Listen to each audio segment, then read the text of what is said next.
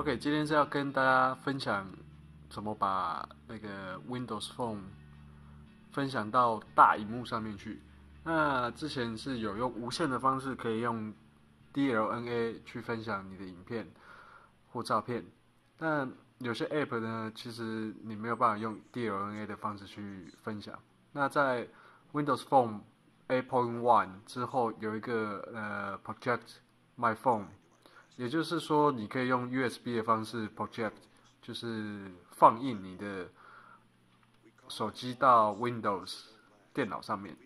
那今天就是要跟大家介绍这个东西，其实非常简单，你只要去下载一个嗯 Project My Phone App，在那个 Windows 呃 Microsoft 的那个上面可以下呃官方网站上面下载得到。那安装好之后，接上 Windows Phone 就可以打开就可以用，就这么简单，非常简单。唯一的缺点就是说它没有办法呃把声音一起。丢出去就是一起丢到电脑里面去。那你只需要一个音源的转接线，就是直接插到你的电脑麦克风，然后再用电脑的麦克风的 setting 去麦克风去聆听这个是这个装置就可以了，就这么简单。那当然，呃，在使用上，其实我自己本身也碰到一些问题，像是。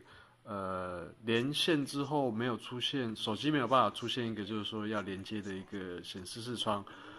那之后我去网络上找了一个呃找答案啊，Google 了一下之后，发现其实也蛮简单，就是你只要把你的装置管理面装置管理员里面的所有跟 Windows Phone 有关系的 driver 全部移除，让它重新再从 Windows Update 上面抓，然后就可以连线。就就直接就是让它再重新拔过，再重新插过，就可以连线进去了。对，就这么简单。好，那如果还有其他疑问的话，就欢迎在底下留言。然后相关的下载网址跟网络介绍的部分，我也会在底下留言啊，不，底下的呃相关的讯息，我也会在底下呃的描述里面附上。OK。好，那就今天就到这样子。然后在后面的影片里面，我还会就是呃有些画面，我会把它截录下来。如果你碰到哪些的问题，你可以直接从这里面看。